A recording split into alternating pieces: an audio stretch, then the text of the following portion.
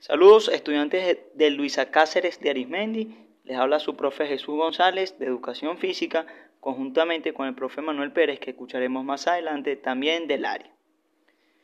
El día de hoy vamos a hablar sobre las lesiones más comunes en el deporte. Clase dirigida a los estudiantes de quinto año, secciones A, B y C. Muy bien, muchachos. Primero tenemos que definir qué es una lesión deportiva. Las lesiones deportivas son daños en el cuerpo que suelen ocurrir en la práctica de cualquier deporte. Allí en la lámina podemos apreciar cómo se pueden diferenciar las lesiones deportivas en directas e indirectas. Las directas son en el momento de la práctica deportiva y las indirectas son producto de la práctica constante de algún deporte. Es decir, muchachos, cuando nosotros realizamos algún deporte, cuando estamos haciendo la práctica de algún deporte, podemos lesionarnos en ese momento de la ejecución. Eso sería una lesión directa. Ahora bien, una lesión indirecta es producto de una práctica constante, puede ser fatiga, acumulación de esfuerzo físico por las prácticas o por la realización del deporte, que puede derivar en algún tipo de lesión. Esas son las indirectas, las que son producidas cuando no estamos necesariamente en la actividad deportiva, pero es consecuencia de la práctica de ellos. Muy bien, muchachos. Vamos ahora a clasificar las lesiones deportivas más comunes. Bien, podemos clasificarlas en tres partes o, tres estructuras muy importantes del cuerpo. Las musculares, las lesiones óseas o de huesos y las lesiones de nivel de ligamentos. Por ejemplo, podemos ver aquí en esta imagen una lesión muscular, cómo eh, es afectado este músculo de la pierna derecha, en este caso el cuádriceps, es una lesión muscular. Bien, hay varios tipos de lesiones musculares. En esta lesión ósea podemos ver una radiografía en donde hay una fractura de un hueso. ¿Ok? También hay varios tipos de lesiones óseas dentro del deporte.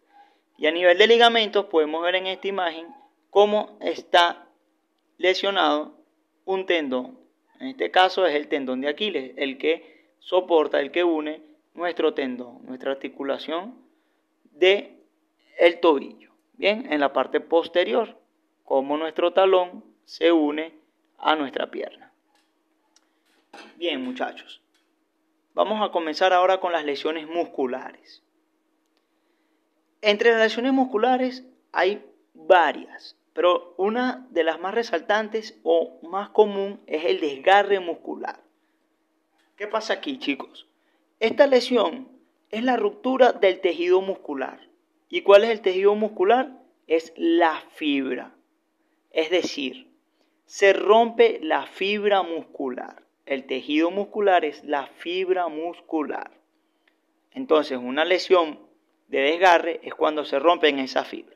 Los principales síntomas son un dolor intenso en la zona afectada, en donde se, donde se rompió la fibra muscular o se rompieron las fibras musculares.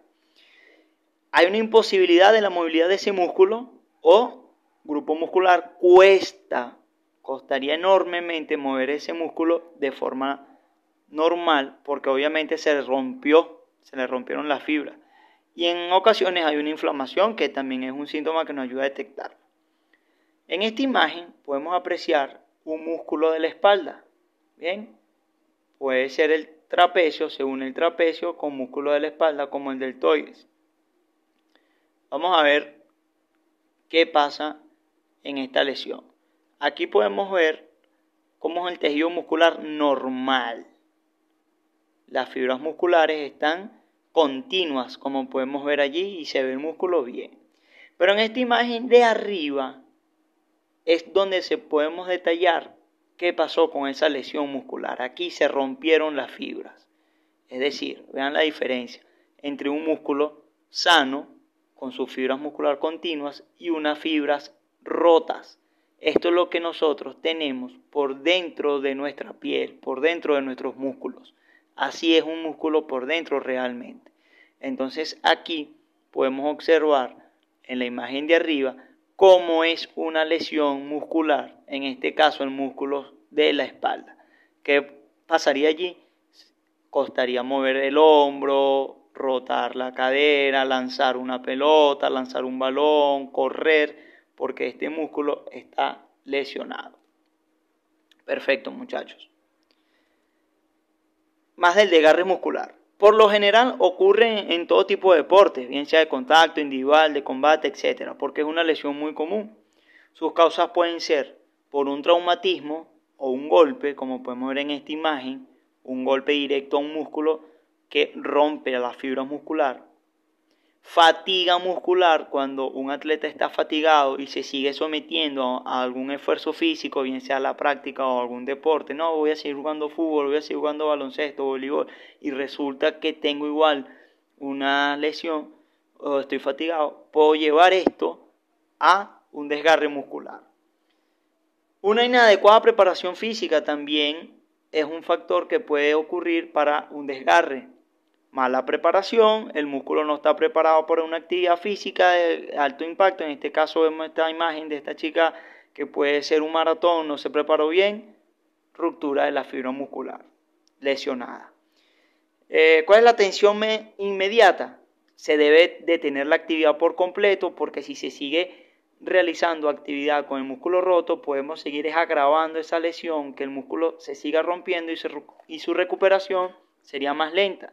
Hielo para calmar el dolor y un vendaje. Posterior se recomienda una atención médica por los especialistas, bien sea un médico deportista, un médico que especializado en lesiones de este tipo, un fisioterapeuta, para seguir diagnosticando y lo más importante en la recuperación de un desgarre muscular es el reposo. Al, reposar, a estar en reposo, el músculo tiene la posibilidad de regenerarse. Muy bien.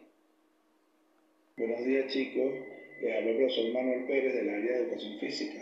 El día de hoy les hablaré sobre una lesión que es muy común llamada esguince de tobillo lesión que se produce cuando el tobillo gira o se flexiona de forma no natural. Como consecuencia, se puede estirar, desgarrar los ligamentos que ayudan a mantener unidos los huesos del tobillo.